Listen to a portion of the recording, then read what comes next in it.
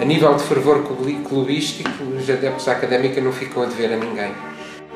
A similaridade com o amor uh, maternal e romântico eram muito grandes e eu não estava à espera.